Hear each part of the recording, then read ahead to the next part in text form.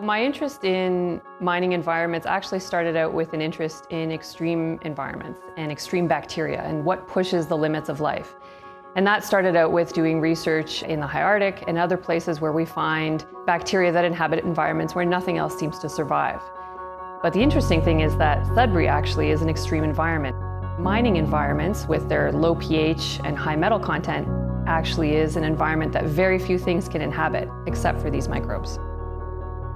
I'm Dr. Nadia Mykytczuk. I'm the NOHFC Industrial Research Chair in Biomining, Bioremediation, and Science Communication.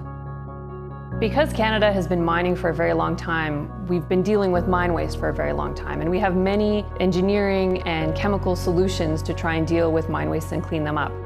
And that's worked very well in many cases.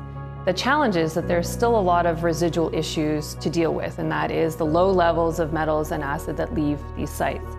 What we try to do in our research program is develop alternative strategies in dealing with these long-term legacy challenges that the mining industry is facing. And one of the ways that we can do this is using biotechnologies that try to clean up these wastes, so extract value from those wastes. We call this biomining.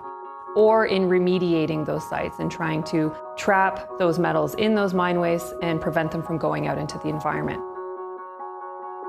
A lot of people, when they look at mine waste, don't realize that it's a thriving ecosystem and there's a variety of microbes that inhabit these extreme environments and have evolved to eat iron and sulfur.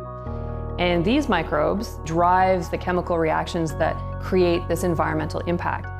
But if we can study these microbes and harness their abilities to break down these mine wastes, we can actually make them work for us. What has changed now in the ability to develop biotechnologies is that we have new tools. Molecular tools allow us to study bacteria in the environment.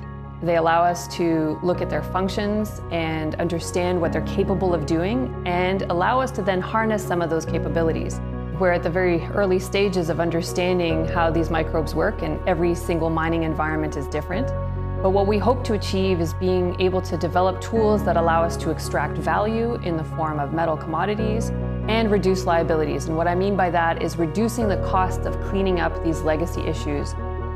We want to combine both biomining and bioremediation as strategies as part of long-term treatment for mine waste. So as we continue this research, one really important aspect not to overlook is the fact that we have to communicate what we're doing. These are new technologies, new ways of doing things. And in order to have support and understanding from our various partners, from industry, from various stakeholders, we have to get really good at communicating what we're doing and what we're trying to achieve.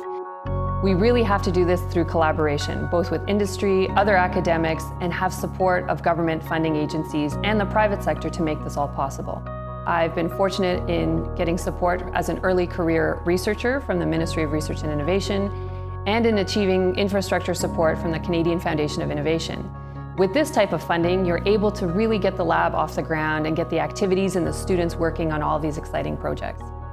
I think we are well situated in Sudbury in that we have a long history of mining. We have an excellent model of reclamation and remediation. And now I think we are extremely well positioned in our natural laboratory to be able to develop some of these biotechnologies, being able to support and deal with a lot of legacy issues that the mining industry is facing, not only in Sudbury, but around the world. So we're trying to find ways of having a real positive impact on some of these enormous challenges.